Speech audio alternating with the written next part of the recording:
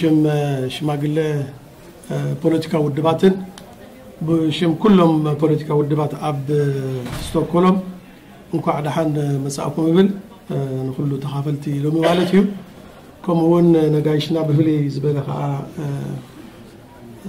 ዶክተር ዓንደ ብርሃን ወልደ ገርጊስ ዶክተር እድሪስ አቡበከር ከምኡ ከዓ ብኣጋጣሚ ፅቡቅ ዕድል ኮይኑ ሎሚ ዶክተር ዩሱፍ ምሳና ኣሎ ማለት እዩ ከምኡ እውን ገዲም ተጋዳላይ መሓመድ ብርሃን ብዙሓት ኣለዉ ስለዚ ንኩላኩም ገዲም ተጋዳላይ ኢብራሂም ገደ እውን ኣሎ ስለዚ እንኳዕ ድሓን መፃእኩም ይብል እዚ ናይ ሎሚ ሰሚናር መባእታዊ መጀመርታ ከም ፖለቲካዊ ውድባት ብሓንሳብ ኣብ ሽወደን ንገብሮ ዘለና ሰሚናር እዩ ስለዚ እቲ ኣብ ሃገርናን ዝርከብ ዘሎን ኣብቲ ከባቢ ዝርከብ ዘሎን ሓደ ኣናብባ ክህልወና ኢልና ከም መጀመርታ ሰሚናር ክልተ ዶካ ዓዲምና ዘለና ማለት እዩ ስለዚ ኩላኩም እንኳዕ ድሓን ምፃኹም ተስፋ ገብር ፅቡቅ ምሸት ምሳና ክትሕልፉ اولا احيي الجمع الغفير اولا نشكركم على الحضور ونشكر ايضا الدكتور عند برهان والقرقيس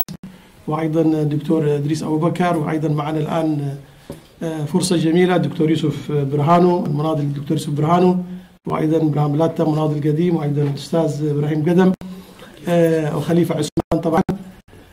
فهذه أول مبادرة من التنظيمات السياسية الإريترية في ستوكهولم برعاية التنظيمات السياسية.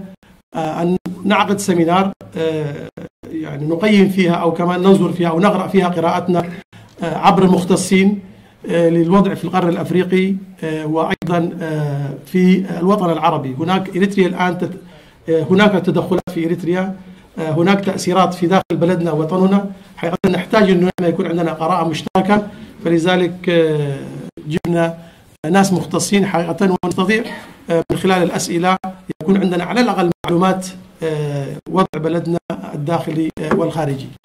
فحيدير هذا اللقاء باللغة العربية أخونا وأيضا بالتقرينيا أخونا نقاش عثمان وأيضا يقدم الدكتور إدريس أبو بكر. وأيضا أخونا نور أخونا نور أيضا حيقدم الدكتور نور أحمد حيقدر الدكتور عند برهان ولد قرقيس إذا ما بنزي لومي بحاولنا عثمان بنور أحمد ناي كلتي يوم أقرب تخونيوم سلازي نكو عبد الحمد اخوم وشكرا لكم شكرا. طبعا المواضيع اللي اخترناها لهذا السيمينار مواضيع غاية في الأهمية هي لأنه إريتريا تعيش في محيط الأوضاع السياسية فيه متقلبة والجيو سياسية ما سميناها إن كان في شبه الجزيرة العربية وكان على شمال شرق أفريقيا خاصة على ضفاف البحر الأحمر. يعني هذه التداخلات الموجودة وتأثيرها على إريتريا وعلى أمنها آه بالتالي أيضا أنا أتوقع من خلال المحاضرات المحاضرتين اللي حتلغى من قبل الدكتور ادريس والدكتور عند برهان سيتم تسليط الضوء على دور النظام في إريتريا. بالتالي يعني أول باكورة عمل التنظيمات السياسية خلال هذا العام كان هذا البرنامج. أتمنى انه نكون حنواصل برامج مشابهة ما يخص إريتريا ما يخص قوى المعارضة ما يخص دورنا نحن. بالتالي أعيد شكري وتقديري لحضوركم جميعا وللرموز والقامات الوطنية الموجودة بيننا.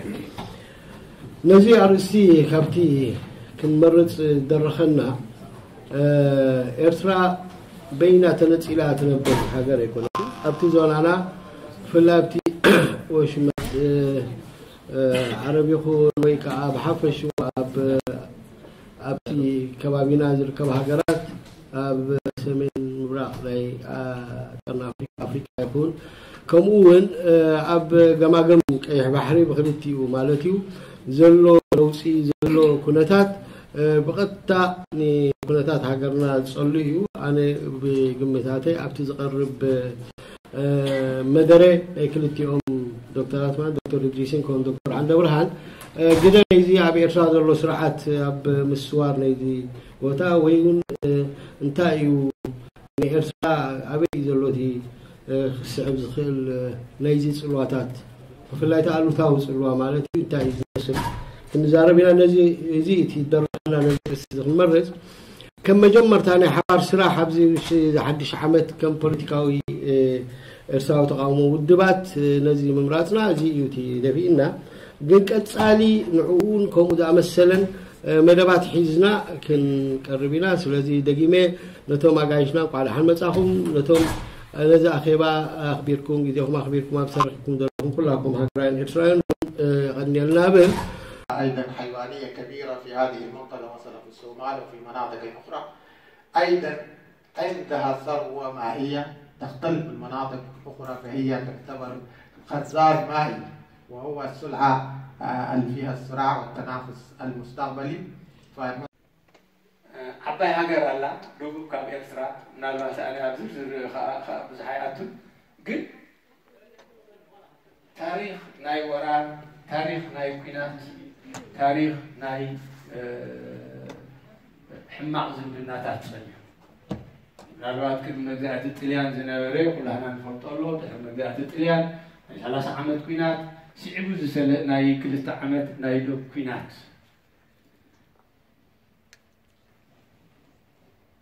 ሕጂ እዚ እንታይ ዝፈጥር Peace will be uh, holding a seminar on the challenges and opportunities for democratic transition in Eritrea.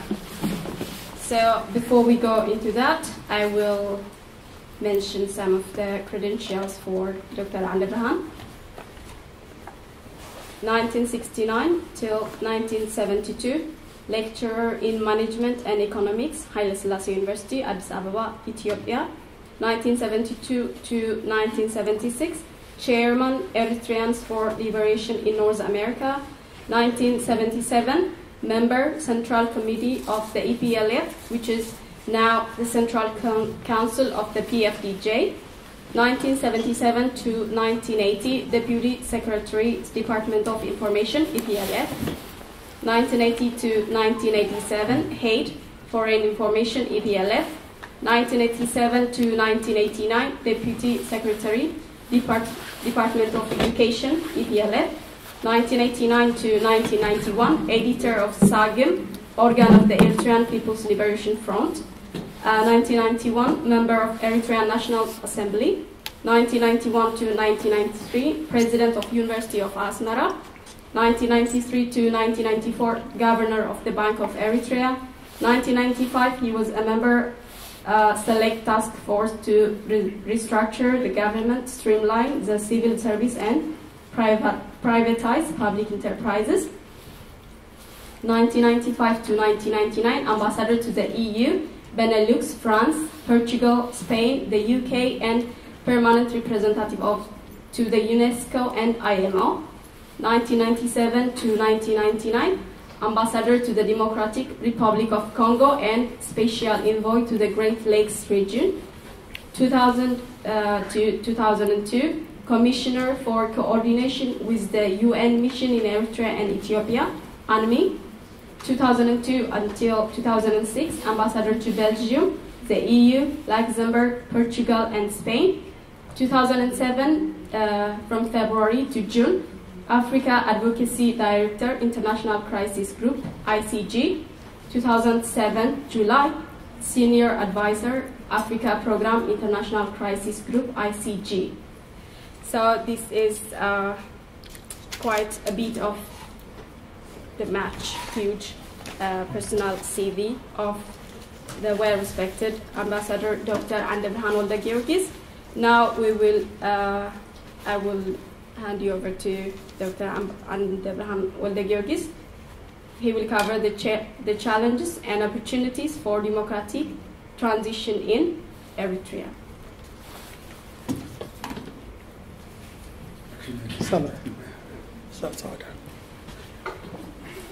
Thank you, Samar. I would like to begin by thanking the Committee of Political Organizations in Sweden which kindly extended me the invitation and gave me this opportunity uh, to meet with you this evening. It's a very commendable initiative, and I would like to encourage them to consolidate and expand this initiative because what we lack in Eritrea, or in the Eritrean diaspora, I should say, I should be more specific, is the ability to come together in an inclusive forum like this and exchange views, views about our country, views about our region, and views about how events and developments outside our region, global events, affect us, our people, in our struggle for change and democratic transition.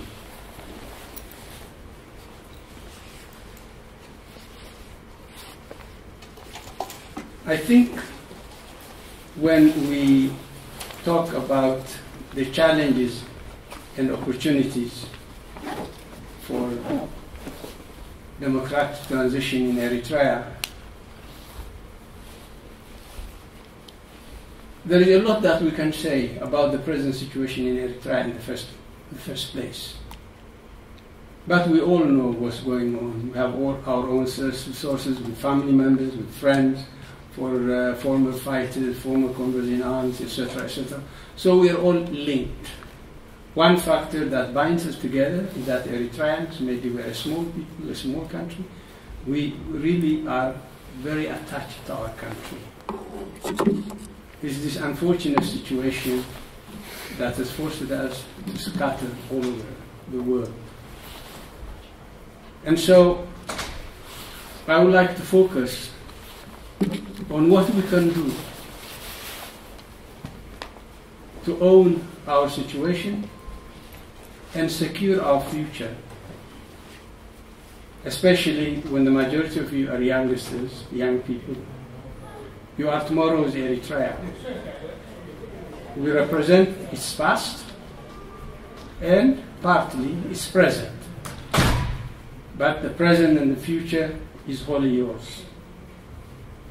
And what happens to Eritrea a few decades down the line is going to be shaped by you and people like you in Eritrea, in the region around Eritrea, or scattered worldwide, so-called Eritrean diaspora.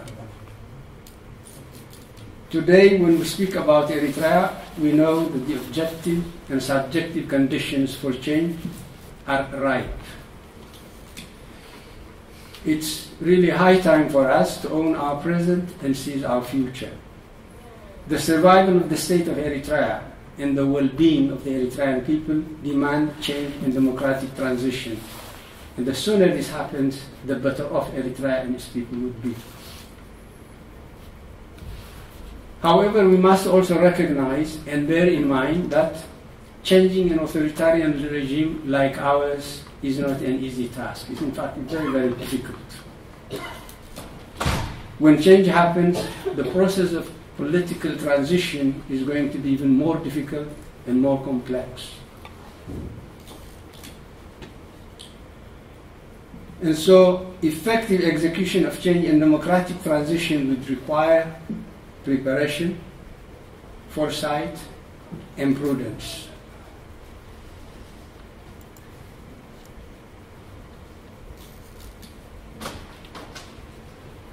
There is so much that can be said about the extent of despair shared by many Eritreans, whether at home or in the diaspora. But it's very important for us to get rid of this despair and to nurture hope.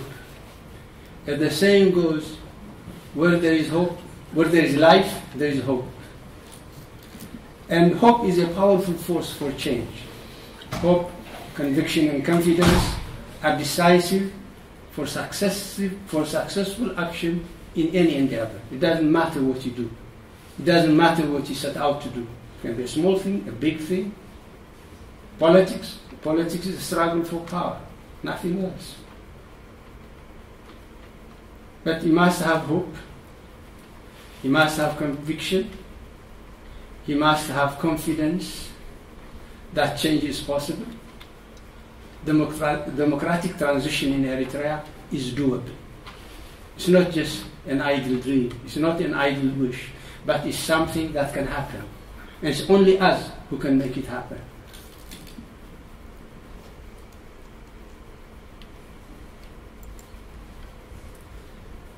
But when we talk about change and transition, we're also, in a dialectic sense, talking about change and continuity. Change of the authoritarian regime, continuity of an independent, sovereign Eritrean state. The people of Eritrea have paid a huge price to make a sovereign Eritrea possible. Independence is a historic and great victory of the Eritrean people. It enabled Eritrea as a nation to gain its right self-determination and to take its rightful place among the community of nations. Eritrea today is a member of the UN, AU, IGAD, etc., etc. Uh, I mean, legally it's, uh, it's qualified, it's, uh, but of course the role it plays is a function of the kind of regime we have. But a transitional uh, or a political transition from an authoritarian regime that we have into a democratic regime that we wish to have would require a period of transition, preparation, because you have a regime that had its rules, its institutions, its pro- procedures, its practices. When you talk about the regime, we're also talking about what we call maybe it's Latin modus operandi, the way it operates, the way it runs a government, the way it uh, relates to the people, the way it represents Eritrea's interests in the region outside, etc. So all that must be changed. And replaced by a new regime. That's democratic. Furthermore, it will be necessary to establish and strengthen functional institutions. Today in Eritrea, there is no institution that functions. There is no institution that delivers the social goods and services that our people need in order to earn their livelihood, in order to improve their lives, in order to change this situation of impoverishment into a state of uh, prosperity.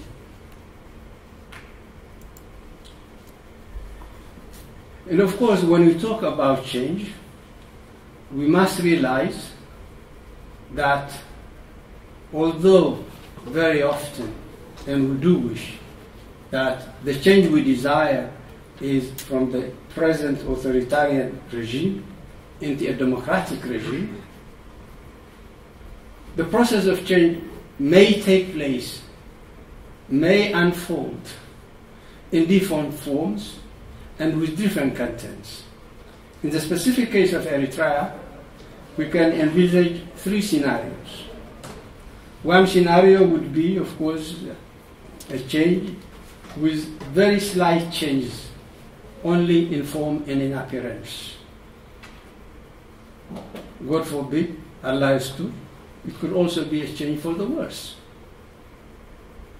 It's difficult to imagine for us a regime in Eritrea worse, worse than what we have. But it's not outside the realm of possibilities. So the change, the third option, the third scenario, is a change for the better. And for us, of course, it's this that we aim for.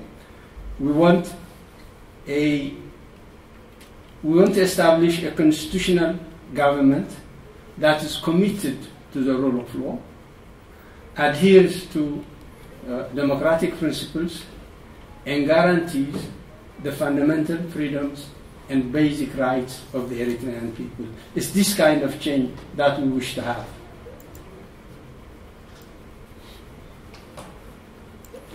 And if we want to have this kind of change, we must proactively prepare for it. We must prepare the groundwork today. Because tomorrow we will reap only what we sow today. We cannot expect to get something tomorrow that we've not worked for today, that we've not prepared the ground for work for it today.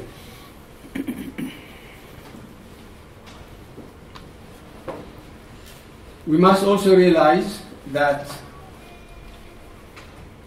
when we are working for change, there are challenges that we need to be aware of and we need to minimize or overcome their negative consequences on our struggle for change. First, of course, there are the domestic challenges. The domestic challenges are associated with the regime, with the present regime. Because the authoritarian regime today, you, call, you say authoritarian. What do you mean by authoritarian? What are the salient characteristics? What are the salient features of this regime? How does this regime operate? How does it sustain itself in power? What are its strengths and its weaknesses? How can we weaken it? How can we diminish its strengths and, of course, uh, augment its weaknesses? So we must understand this regime. It's an absolute dictatorship. It's extremely predatory. It's wasteful. It's dysfunctional. It's malevolent. And it's also, it operates with extreme impunity. What do we mean by this? I will explain each of them in detail. It's an absolute, when we say it's an absolute dictatorship, the present regime is an outright dictatorship that has usurped absolute power, that possesses no functional state organs or government institutions, and that prolongs its rule through resort to coercion and violent force. Anyone who criticizes, anyone with a different perspective, anyone who resists some of its directives is detained and from that moment on, he or she is not heard of or heard from. It's an absolute dictatorship. It's also extreme predation, it's predatory, having monopolized the country's natural, economic, social, and cultural resources. It devises various pretexts to plunder state assets and extort, extort money from the people. They have different. There are who are. Uh, help for martyrs' uh, children, for uh, uh, war veterans, for etc. etc. etc. Two percent rehabilitation tax, etc. etc. It's also extremely wasteful. It's a profligate regime that squanders the nation's productive manpower the revenues from the extraction of the country's natural resources and state assets and public finances are to win. In other words, it's a country that does not, it's a government actually, that for 27 years now has had no publicly declared budget. No one knows, except maybe a handful, what the revenues of this government are, what the origin of revenues is, what the expenditures are, how they are decided. They are done whimsically. For instance, nobody knows where revenues from the Bisha gold mine, now maybe copper, silver, and now the, the, the potash mines in, in, in Danakil, etc., etc. In a properly functioning state, revenues from the extraction of these natural resources should have been used to improve fi- public finance, to improve the living condition of the people, to uplift the standard of living of the people, etc. but we don't know where they go.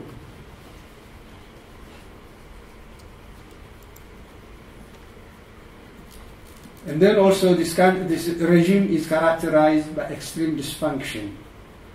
It's a dysfunctional regime preoccupied with self-aggrandizement. The self-aggrandizement, maybe I was explaining the, how it self-aggrandized itself uh, uh, in an earlier discussion, but we can, uh, we can detail it later if necessary. It's a defunct regime that has failed to provide for the basic necessities of the people it's also an archaic regime that manages a degrading coupon economy in the 21st century, an, an abominable regime characterized by rampant corruption. can take any sector. In any sector, there is rampant corruption. I think uh, it was Lord Acton who said that power tends to corrupt, and absolute power turns corrupt absolutely.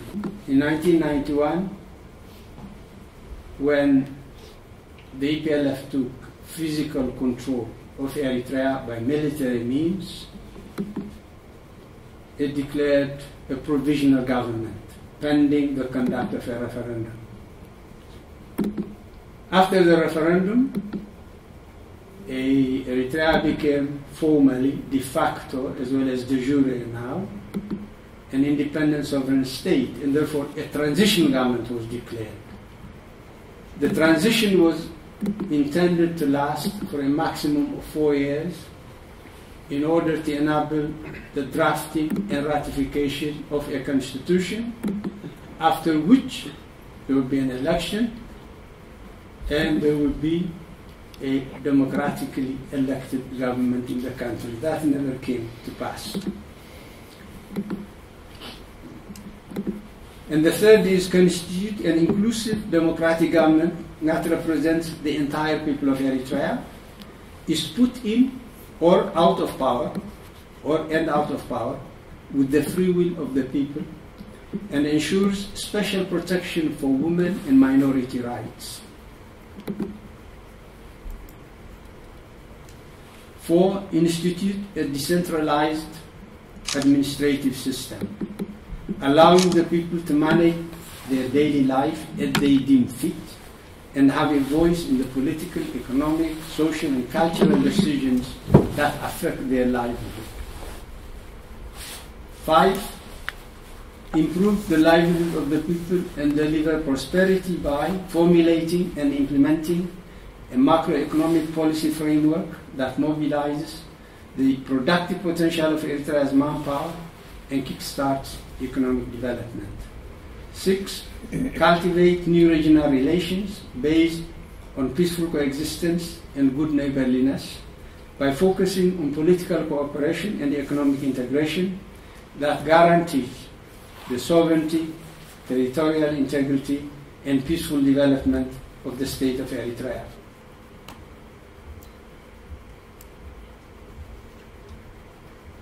With that, I thank you for your kind attention, and uh, I think somehow we'll open the floor for discussion, and I thank you very much.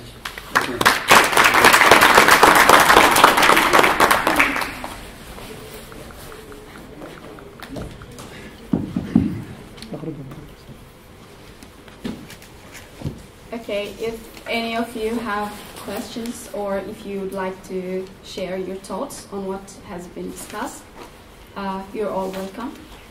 Uh, who would like to start?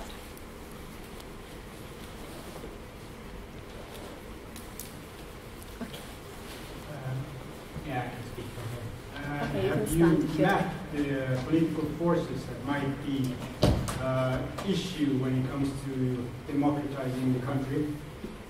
Or has it been done before?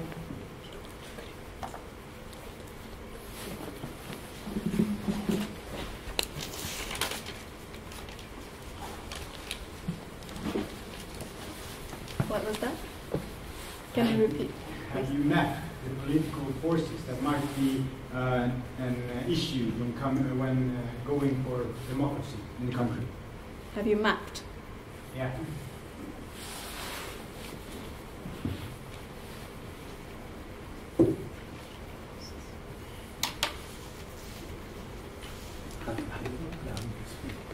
Okay, we will we will uh, first collect all the questions and Yes. then he will answer all at once. Okay. Do you want to ask? No. Okay. Anyone is welcome. Even if even if it's outside these topics that we ha- we have discussed, you're all welcome. We can discuss anything that you have about Eritrea. Anything at all. Some of you have never come to Eritrean meetings or seminars before, I'm sure. So you can ask whatever comes to mind if it concerns Eritrea, please. Or what, what you'd, you'd like to see.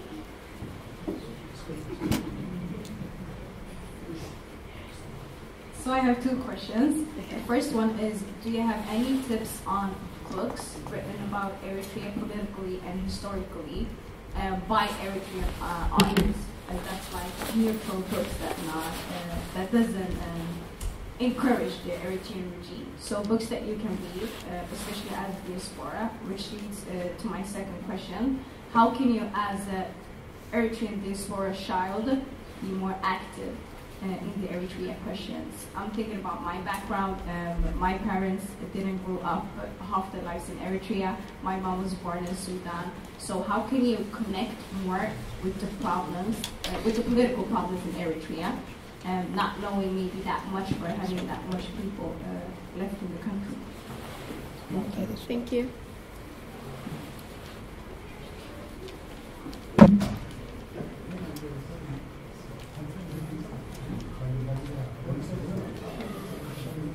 Others? Yeah.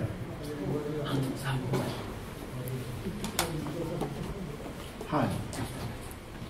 There is my question is very simple one. Okay. Go. What is Eritrean dilemma? Very simple question. What's Eritrean? Dilemma. Dilemma. Okay.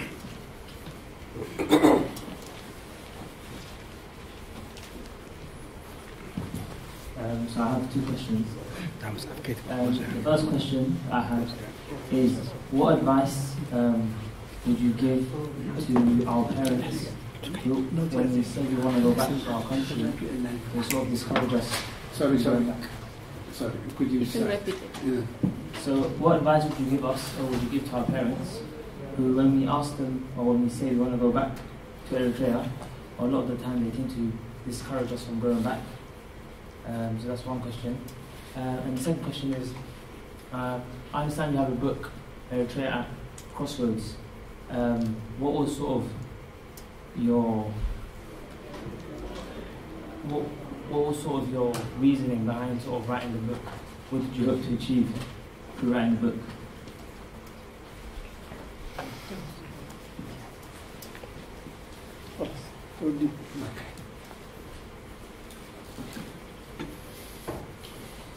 The first question, have you mapped the political forces? I think the task of the democratic movement that needs to be established needs to identify the internal forces of resistance, identify the pro-democracy forces outside, come together in a coalition. It doesn't have to be one organization. You can have different, as many organizations as you want. Even in an independent Eritrea, once you have, uh, once you have a democratic system of government, you will have, of course, rules, laws, rules defining what constitutes a political party, a civic, organ- a civil organiza- a civic organization actually inside Eritrea, etc., etc. Until that moment, however, we have to identify certain core values, core principles around which we can coalesce. Set our priorities because we have limited time, limited resources. If we want to achieve something tangible, we must prioritize our objectives number one, two, three. But to do that, we need to come together and agree on these priorities. And then once we agree on these priorities, then we can develop a division of labor. We can stay in our respective organizations, but we can coalesce our effort. We can bring our resources together, our energies together, and if we manage to do that, we can achieve synergy. The outcome would be much larger than the sum of the individual efforts or group efforts. So these are things we need to think about and come together to work out. I don't think there is a blueprint now for changing Eritrea. There are so many ideas, yes, but there is no blueprint and there is no really silver spoon, so to speak. But we need to come together, and hopefully, the outcome of our coming together, of our internal debates, of our dialogue, would be agreement on the map you're talking about, on the future of Eritrea that we want, and how we can bring it or how we can make it happen. So this is, I think, the work that we should uh, engage now and in the immediate future. My question was more aimed at political threats for the, going from this uh, dictatorship to a democratic government. Yes, of course. Uh, I did not want to repeat myself, but the, the political threats, some of them are regional. Okay? And I tried briefly mention them. If you want, I can go into detail with everyone. But the most important are also the domestic challenges we face. That, look, uh, in Eritrea, you have no rule of law. It's the only government or the only regime that does not have even a nominal parliament. Okay? Throughout Eritrea, in the different parts of Eritrea, there is what we call customary laws, Dabba. In fact, I am convinced that Eritreans, if they are left alone, they don't need a central government.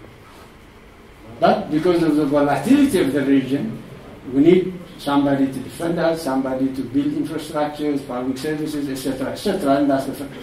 Otherwise, the people of Eritrea have a long, long tradition of self-governance at the village level, at the community level, etc., etc. We can go into that. Okay. The problem today is people, country, they endure, they last long. Governments come and go. And this government, like any other government, would come to fall one day, sooner or later. If we do our homework, if we are effective in what we do, we can accelerate this downfall. Otherwise, willy nilly, whether we like it or not, it will fall. Okay? The danger then is there is no institutional mechanism for succession for succession to Isaias. What happens then? Okay? So that's a, a dire threat, if you want. And there are no forums where our people at different levels can come together, discuss this problem, and find a solution out. So, the absence of representative bodies to discuss our situation, what policies we should follow, what we should do, etc., etc., and the fact that there is no institutional mechanism for succession, what happens? there is the risk of a political vacuum. And when there is a political vacuum, we learned long time ago, I mean for you probably recently, that nature does not allow a vacuum. Negative forces, all kinds of negative forces from the region can step in to fill in that vacuum. Okay? So these are the problems we face. So if we want change, we must, we must, of necessity, come together and try to manage that change so that there will be an orderly transition from this dictatorship, from this authoritarian government to a democratic form of government. That's why we need a transition, and the transitional period needs preparation, prudence, and of course wisdom. So these are some of the risks we can discuss. There are others, but this is the, most important, I think. What is the Eritrean dilemma? I really don't know. There, maybe there are many dilemmas. okay. What I don't understand personally is I know all kinds of people and I deal, I interact. Because I travel, I meet Eritreans everywhere. My friends who were with me, etc., even Eritreans in the US, Eritreans in Africa, all over Africa. There are people who still take this rigid partisanship. This binary view I was discussing in Tigrinya in the earlier discussion. You are either for me or against me. You are either with me or against me. If, if I don't agree on everything with Abdul Karim, then I take Abdul Karim as my enemy.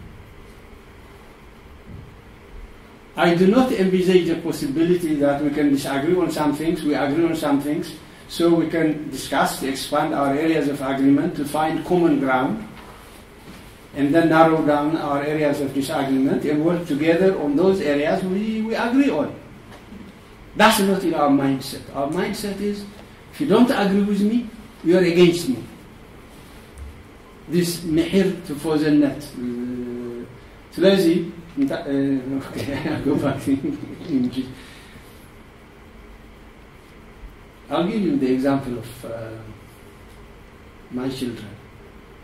In the English Premiership, one supports Manchester United, the other Chelsea. You know, and I watch the game, the games with them. They fight. When they accuse the, the, the, referee, I mean, if he, if he gives a penalty or, uh, or whatever, or if he doesn't see a, a tackle and he doesn't uh, give a free kick, etc., etc., oh, this we, etc. They, they really are ready to fight. And I say, why? Look, the game is, the referee was okay. If it's against Manchester, the one who is uh, a, a fan of Manchester will never accept. Or Chelsea will never accept. So I liken this because those who support the regime, misguided but blind support, nothing worth criticizing. Everything must be commended, supported. And he said, look, what about this, this uh, senior, former senior officials who were the historical leaders of the movement? Where are they? Why? Why are we this? Why are we that? Why are that? Externalize the problem. Oh, because of sanctions, because of America, because of Oyane, because of that, of that. So the dilemma is the inability to accept reality as it is, because you're misguided by this binary mindset of the world. If Samhar and I are not on the same wavelength on everything, we become enemies. Even in the face of evidence that things are not as cozy, as rosy as they claim to be in Eritrea. Like I've got this uh, um, website, every platform. You know, every day I get so many abuses. You, Wayani, CIA, this, that, this, that, this, that. Okay? But what I present there is concrete. For instance, national service. You know, this is the age of technology. This is the age of science. You don't need to be uh, breaking stones or uh, quarrying stones with, with, with the things our forefathers did. I mean, there's machinery today. Okay? But still, still, people believe that this is the right thing to do. Look, Eritrea has a very strategic location. Eritrea could easily become a services center. Financial services, which we tried to do when I was in the central bank, transport services, tourism, etc., etc., etc. Okay? Despite all that, there are people, educated people, who can read, who can read not just literally to read and write, but who can read the reality, who can analyze and reach conclusions that reflect the reality as it is, not as the reality as fed them by the official narrative of the government. This to me is incredible. How can these people be so blind in their perspective, so supportive of a regime that's destroying the country, disrupting our society, paralyzing every aspect of our national life? Can, that, can, can't they see that? That to me may be a dilemma. Maybe I should I should stop here and go the other question. Okay, okay. Yes, about actually a double uh, response. Uh, you asked other books about Eritrea. This one here, and I think this uh, Tariq al-Haraka al-Islamiyah uh, by Dr. Idris. And this is Eritrea at a crossroads, a narrative of uh, triumph, betrayal, and hope. Why did I write it? It's actually a very long question. Uh, I had a long answer, but I'll make it very brief. I invested my youth for my country. I was studying at Harvard, I was doing my PhD, I stopped, went to fight. Okay. Why did I fight? Not just me. Why did generations of Eritreans fight this long war, this 30 year war? We fought for freedom, we fought for democracy, we fought for prosperity. And today, if you look at the reality in Eritrea, we ended up with the polar opposites of the objectives that we fought for. Why?